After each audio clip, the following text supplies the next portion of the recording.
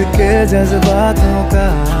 तू लफ्ज है, ठहरा हुआ, बस मेरी बातों का। आँखें कहती है, तू सामने मेरे रहना।